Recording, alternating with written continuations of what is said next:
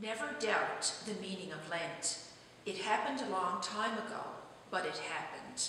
Jesus walked on this earth. Jesus practiced a ministry of radical inclusivity, drawing to himself all those who were radically different in society. Jesus lived what he taught a life of justice and love, profound compassion for all people.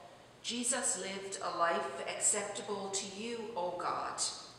As followers of Jesus, we are a dwelling place for all for, for the, all the source of life.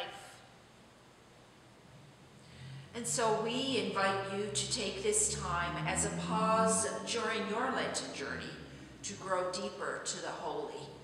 Every time you listen with great attentiveness to that voice that calls you beloved, you will discover within yourself a desire to hear that voice longer and more deeply.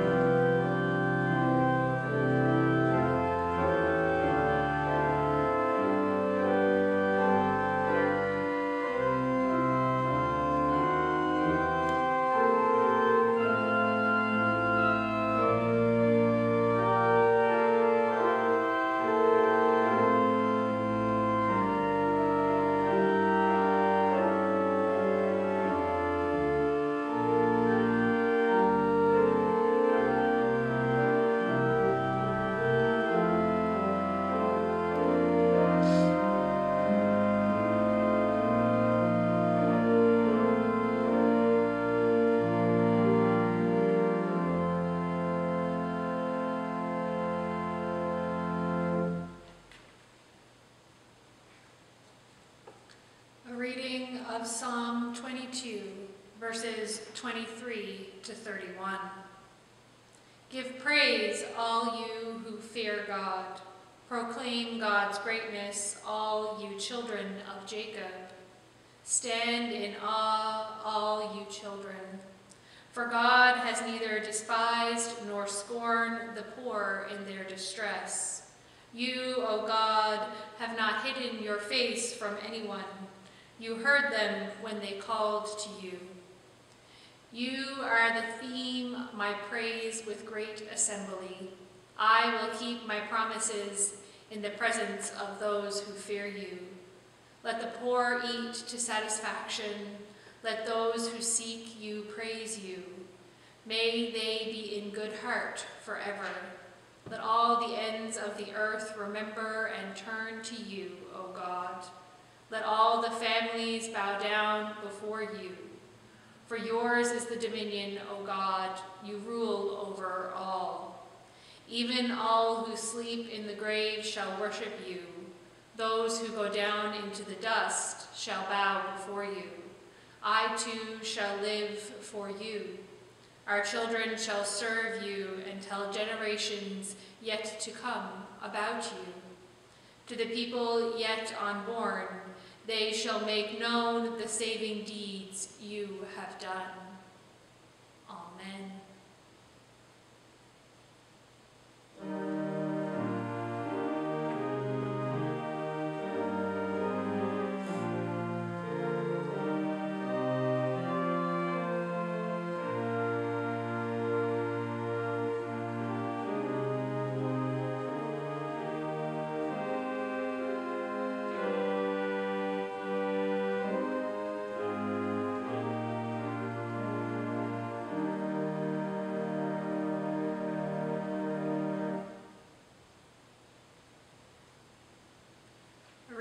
From the Gospel of Mark, the eighth chapter, verses 31 to 38. Then Jesus began to teach them that he must undergo great suffering and be rejected by the elders, the chief priests, and the scribes, and be killed, and then three days, three days rise again. Jesus said this quite openly, and Peter took Jesus aside and began to rebuke him.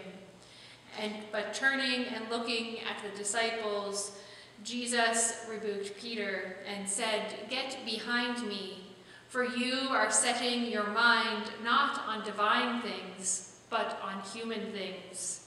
He called to the crowd with his disciples and said to them, If any of you wish to come after me, let them deny themselves and take up their cross and follow me. For those who want to save their life will lose it, and those who want to lose their life for my sake and for the sake of the gospel will save it. For what will it profit for them to gain their whole world but to forfeit their life? Indeed, what can they give, get in return for their life? Those who were ashamed of me and my words in this adulterous and sinful generation are not of them. With those, with also be ashamed when Jesus comes in his glory to God again with the holy angels. Amen.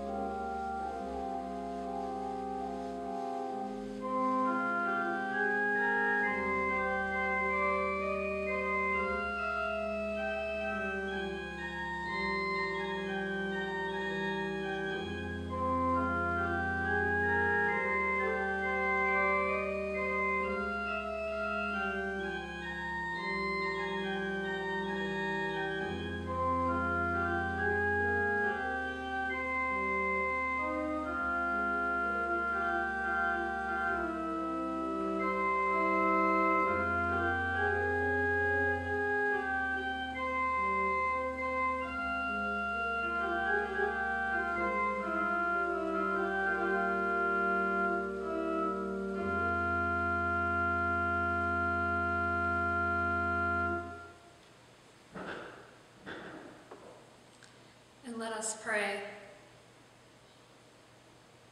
Solitude and reflection are essential for my inward journey.